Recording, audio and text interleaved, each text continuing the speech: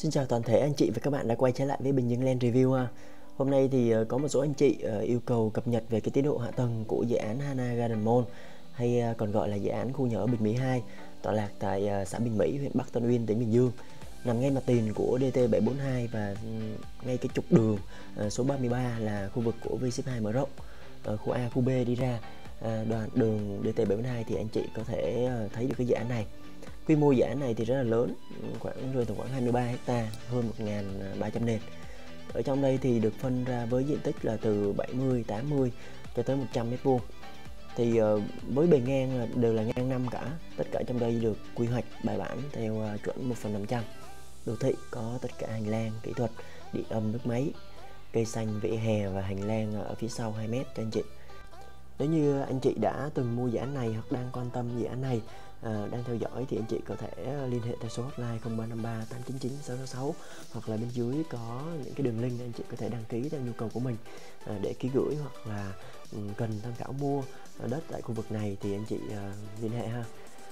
Hiện tại thì à, trong cái dự án này đã bàn giao nền cho khách hàng được rồi anh chị mua thì có thể ờ, vào xây dựng ngay theo cái mẫu nhà bên ờ, chủ đầu tư họ đã có sẵn. Cho anh chị, thì ờ, với cái sổ sách giấy tờ thì đang trong quá trình là tách sổ đóng thổ cư, thì thời gian từ khi thời điểm này cho tới nhận sổ thì nó rơi tầm khoảng 10 tháng nữa là anh chị sẽ tiến hành công chứng nhận sổ trong khu vực này. Hiện tại bây giờ thì bên chỗ Bình Dương Land Review cũng có nhận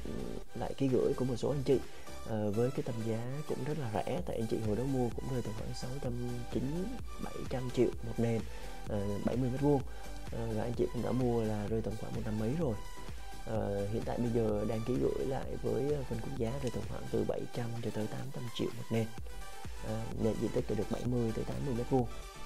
thì ờ, với cái tầm giá như thế này thì khách hàng đầu tư lại à, rất là dễ dàng để mua có thể đầu tư. Dịp này thì thì rất là ổn định pháp lý và hạ tầng rồi. À, còn những khách hàng họ ký gửi lại bán là họ đang ừ, cần tiền gấp thì họ ký gửi lại bên chỗ Bình Dương Land Review à, cần ra gấp để xoay cái vòng vốn đó. Thì cho nên rằng à, đây là những cái cái nguồn à, rất là rẻ. Hiện tại bây giờ Bình Dương Land Review đang giữ chính chủ luôn. Thì nếu anh chị nào mong muốn mua thì mình có thể liên hệ gấp ha cảm ơn anh chị đã tham khảo cũng như là cập nhật về cái tiến độ hạ tầng này cũng như giới thiệu cho Bình Dương Land Review một cái dự án rất đẹp này à, nếu như anh chị có bất cứ quan tâm về à, bất cứ một dự án nào ở tại khu vực à, Bình Dương thì liên hệ với Bình Dương Land Review để Bình Dương Land Review cung cấp cho chị về pháp lý cũng như là hạ tầng tại dự án đó để anh chị có quyết định mua tốt hơn nhé. Xin chào và hẹn gặp lại cho anh chị những video lần sau.